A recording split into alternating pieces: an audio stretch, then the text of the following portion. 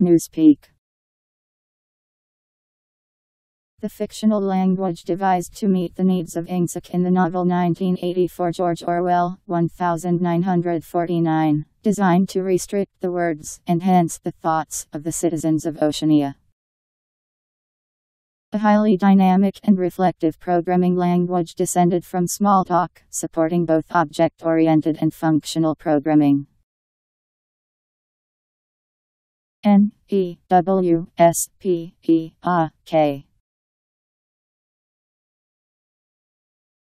Newspeak